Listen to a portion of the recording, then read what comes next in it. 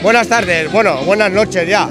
Hoy en nuestra población estamos de alegría y celebración porque el cartero real ha llegado a nuestra ciudad para recoger todas las cartas de los niños y niñas que con tanta ilusión y espera eh, estaban eh, esperando a su llegada para, recoger, para que él recogiese esas cartas y dar el traslado a los Reyes Magos para que el día 6, cuando se levanten por la mañana, tengan sus regalos en sus casas.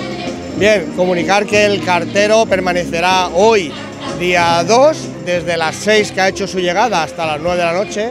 Mañana también estará con el mismo horario, desde las 6 de la tarde hasta las 9 de la noche.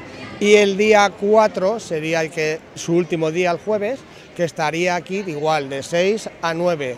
No por ello se irá ya de la ciudad, permanecerá aquí porque próxima a la cabalgata, pues no tiene sentido que se nos vaya y vuelva otra vez, se nos quedará para llegar a la grandiosa cabalgata que tendremos el día 5 para recibir a sus majestades los Reyes Magos de Oriente.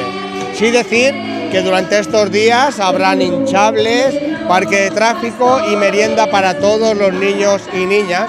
Hoy en concreto eh, la merienda ha sido donada por el supermercado Aldi Mañana tendremos a Popeyes, que nos hará entrega de 100 menús.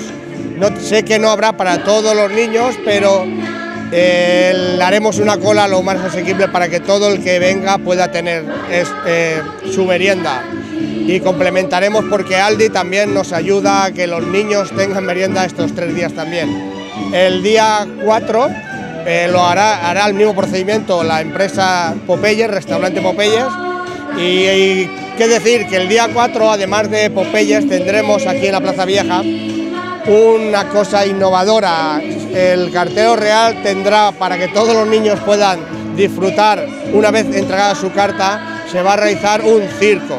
El Circo Perchini estará aquí en Novella y interactuando con todos los niños y no tan niños que vengan a visitar al cartero real.